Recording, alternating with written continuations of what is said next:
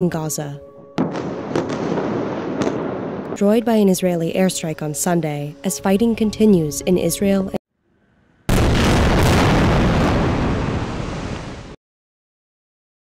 after Hamas, a militant group from Gaza, launched an unprecedented attack on Israel over the weekend. Hamas, more than 700 Israelis have been confirmed dead, and 560 Palestinians have been killed. Hamas worked with Iranian security officials to plan the attack, Hezbollah, another Iran-backed militant group. Western leaders have denounced Saturday's assault and offered support to Israel. The direct Iranian involvement could raise the risk of a broader conflict in the Middle East.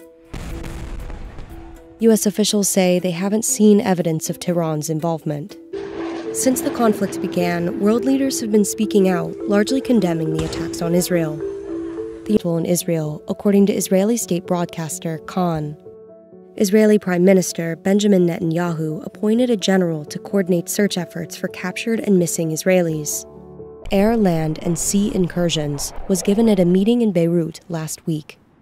A spokesman for Iran's mission to the UN said Iran stood in support of Gaza's actions, but didn't direct them, according to senior members of Hamas and Hezbollah.